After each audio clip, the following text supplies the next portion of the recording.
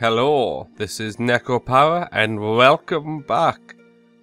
I hope everyone enjoyed the last episode. Slightly ever so dodgy. We had the starting off with the shopping, and then we had the cream and dough go everywhere, and the very embarrassing bath time. That was actually a shower, but it was called a bath. Um, yeah, hopefully there won't be much of that to come. If that's not the right word to use, but you know what I mean. Anyway, let's carry on with this episode. Uh, I covered the ball of dough with plastic wrap and put it in the refrigerator. It's not like we'll ever have a packed house on opening day. So this much dough should be enough. All that was left was, be to, was to be prepared when the bakery actually opens. Okay, the only thing that still needs to be done is to cut up the fruit for the toppings and then I'm done. I stretched out and looked at the clock. The hour hand had already moved from 11 o'clock to midnight. Stretched out.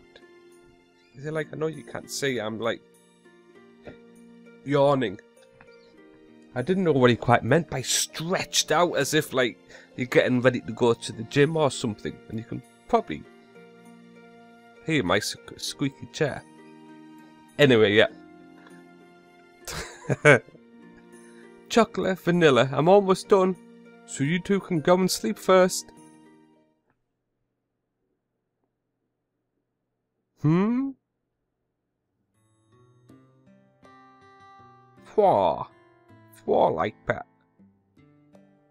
Zzz. I looked over my shoulder to see the two of them sleeping fitfully on the sofa. They stood up. Does, does he know that they're actually stood up and they're not laying down? You do get the feeling that in the adult version of this game, I bet they're actually scantily clad, laying out on the sofa. In the safe version, they just pop them in front of you and close their eyes.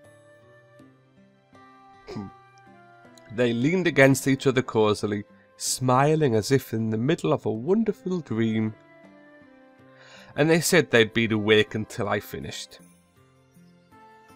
They'd been full of activity since the morning, so they were probably exhausted.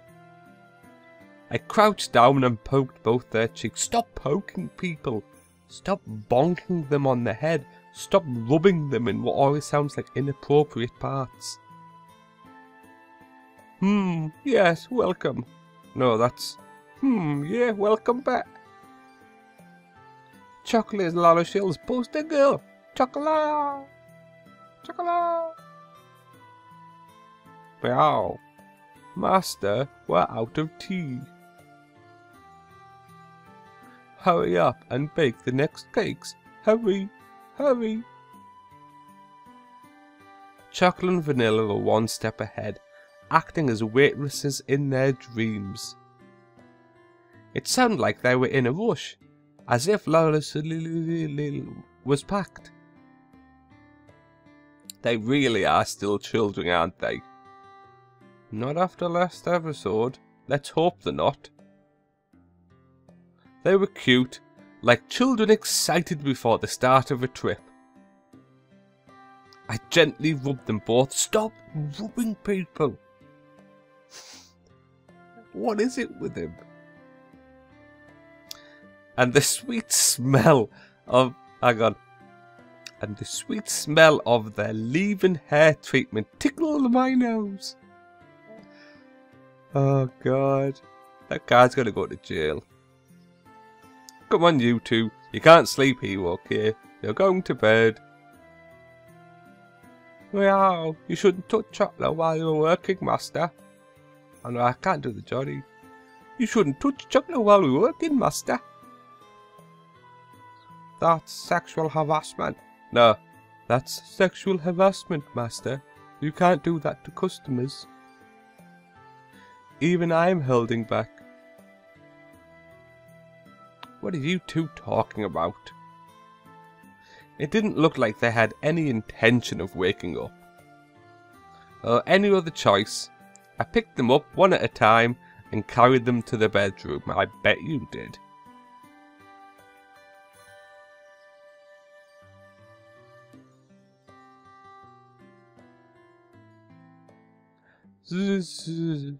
Master? Meow.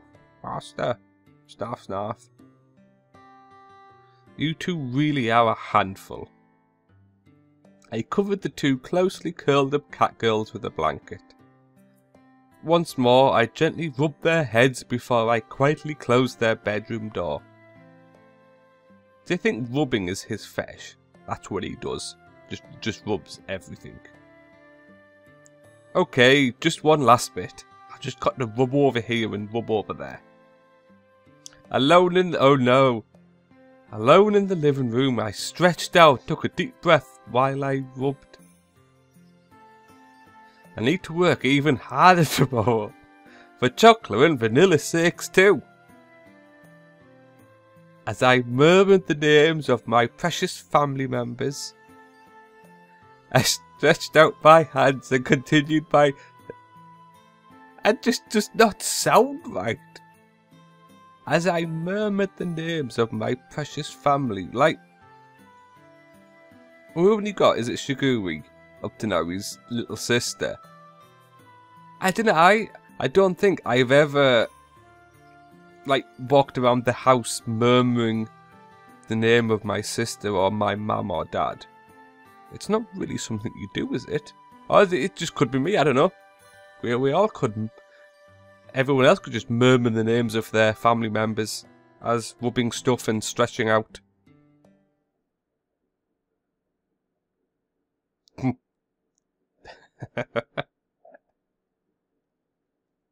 Quite right.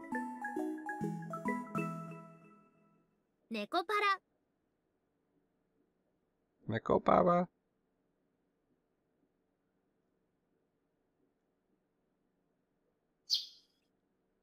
Birds. Oh. Master, someone's approaching the bakery. Everyone in battle stances, are you ready? It would be quicker to go forth and capture them. I'll do it well, so leave it to me.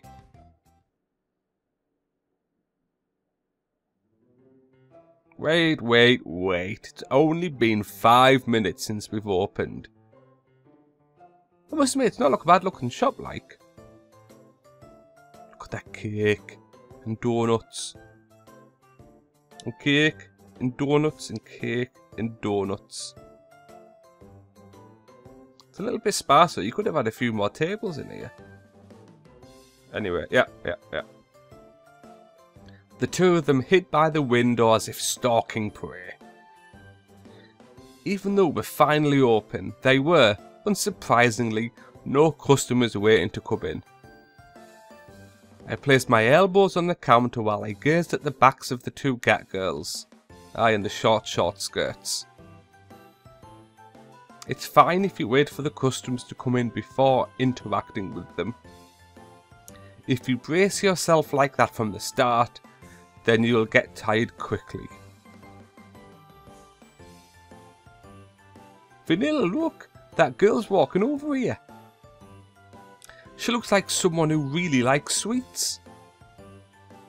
Oh, sweets. But chocolate? That's not really a nice thing to say. Why? Do they... the, the mean she's fat! Is that what they mean? Oh, sweet, but chocolate. That's not really. Sorry, that just could be me jumping. But how do you... The, the, the mean she's that overweight.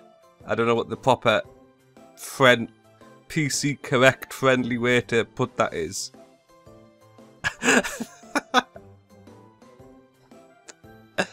I read that and thinking, what do they mean? Because we obviously can't see them, yeah. That obviously that's what chocolate means. Just like it very innocently means that. And vanilla sees it slightly different. You should be careful of saying that in front of customers. Um, not that I she could hear you. Yep, yep, that's exactly what they mean. Bloody hell. The two cat girls didn't so much as turn ear in my direction. Well, they see them that hopeful for customers did pain me a bit as their owner. Well, since we've just started, we should be patient. ding ding ding ding.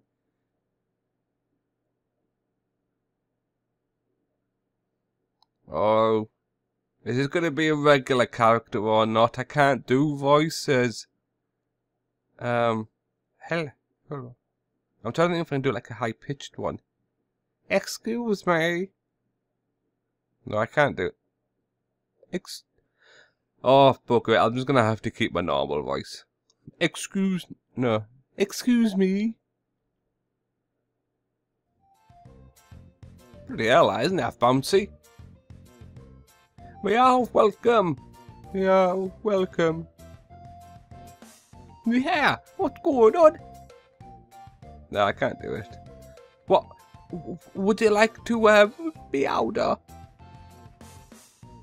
Uh, how special is that? Uh, um, that that thing over there, like that.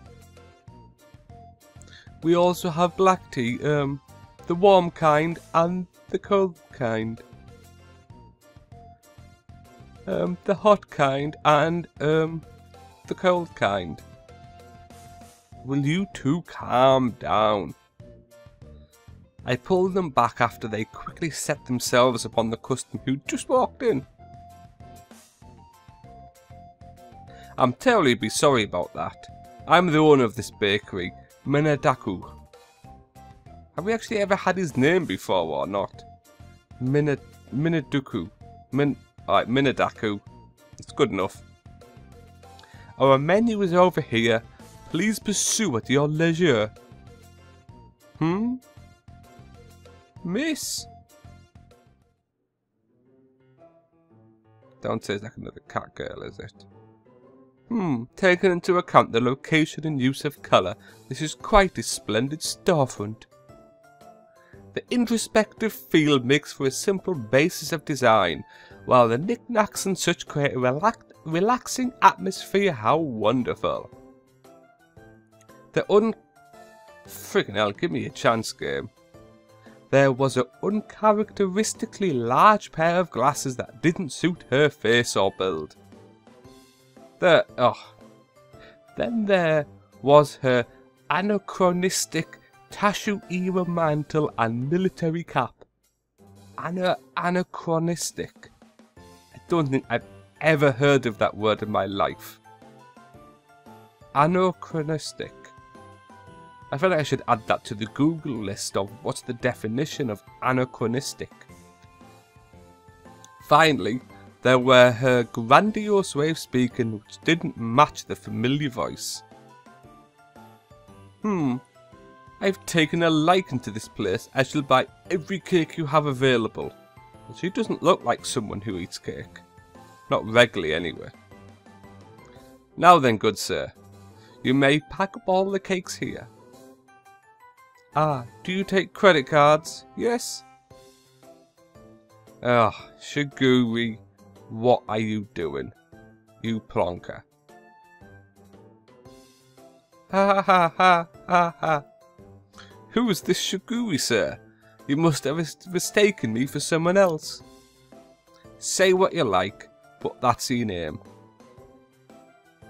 There's no way a young lass, such a pretty and earnest little sister to her older brother, would grace us a place like this with her presence. So, right. Very well, I won't pay heed to such rudeness. There's no reason to put a dampener on your grand opening after all. In that case, would you cut the crazy routine? And yeah, the game's already told us that you're Shigure. It already brings up your name. Besides, how did you even know where my bakery is? Uh, Vanilla buggered off last episode, didn't they, when they were in the chemistry drugstore? I bet she's phoned Shigure or something. She's, yeah, let her know. I didn't tell anyone. I, I, in any case, just scurry along and prepare all the cakes that you have. I will pay your asking price quickly now. What? Now you're a robber? What rudeness to only show deference to certain customers. That attitude might chase away, say, a high-class customer who'd come in every day at opening and buy you out.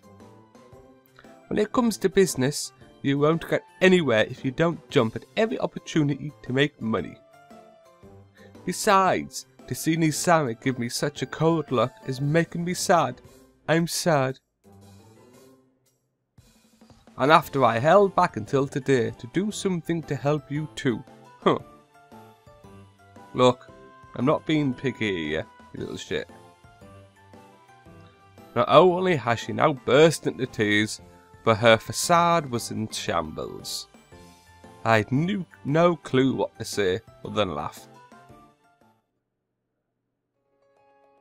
Ah, Shigure-chan, it's been a while. How have you been? Shigure, what's with the outfit? Is that what people are wearing now? Uh, you're, mistaken. I am not. I'm not this Shigure. Uh, Chan you speak of. Ah, ah, stop! Don't pull on my cloak. Ah, ah, wait. Ah. Oh. Have they killed her? Where the friggin' these two come from? She certainly looks like a Sailor Moon knockoff. So, were all these hiding in her cloak? Where, where have these all come from? How... It feels like I've only pressed the spacebar once. Well, yeah. Anyway, I'm just looking at the time. I get the feeling we're now going to go through every single cat girl, and if I remember at the house, I don't know if they had about seven or eight or something. So I think I'm actually going to call it here. It's going to be a little bit of a shorter episode, but I don't want... Yeah, if we're going to go for everything cat, I think this might take a while. And I think you're going to have to wait for next episode to find out who the Sailor Moon knockoff is, who's she in some sort of tartan, and I would imagine what all the rest of them like. Right, thank you very much guys, and see you next time.